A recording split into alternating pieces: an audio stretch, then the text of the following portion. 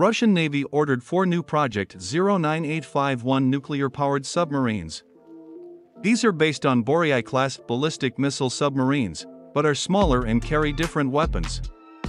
The lead boat Khabarovsk was laid down in 2014. It was launched in 2022. It is planned to be commissioned with the Pacific Fleet in 2024. The second boat of the class Ulyanovsk is also under construction. It is planned to be commissioned with the Northern Fleet in 2025. Details about these new boats are kept in high secrecy. Recently Russian MOD ordered another two boats of this class. However it is unclear whether these boats will be built to the same Project 09851 design or to improved Project 09853 design.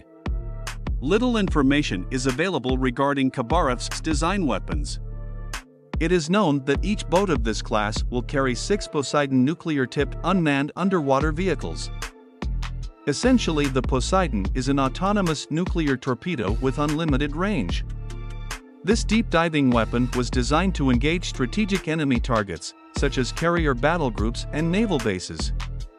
It is a new type of nuclear weapon delivery system. Initially, this project seemed to be too fantastical to be real, however in 2016 Pentagon reports confirmed existence of this weapon. Russia's Belgorod and possibly Sarov special-purpose submarines were used to test these new unmanned underwater vehicles.